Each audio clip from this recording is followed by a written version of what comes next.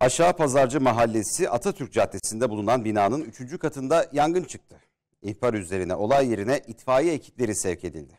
Yangın, ekiplerin bir saat süren müdahalesi sonrası söndürüldü. Yangının ardından dairede kiracı olarak kalan kadın ev sahibinin kendisini çıkarmak istediği için evi yaktığını ileri sürmesi üzerine polis ekipleri tarafından gözaltına alındı. Yangınla ilgili soruşturma başlatıldı.